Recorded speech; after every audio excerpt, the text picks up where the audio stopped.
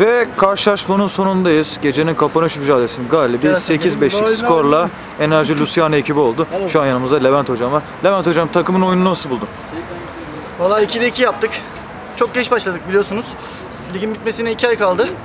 Yani biz bütün maçlarımızı alıp yani e, puan farkı bayağı bir açıldı yani. Biz çok geç başladığımız için yani gümüşe kalıp gümüşe almak istiyoruz. Yani tek amacımız bu. İnşallah maç kaybetmeden bütün maçlarımızı alacağız yani. Teşekkür Peki ederim herkese. Hocam. Çok teşekkürler. Evet Servet'le devam edelim. Servet sen neler söylemek istersin? herkese iyi akşamlar diliyorum. Ee, rakibin aynı eline yüreğine sağlık. Ee, Eracı Hüsnü'yle uzun zaman sonra tekrar sahalardayız. Hedef 3 puandı. Geldik aldık.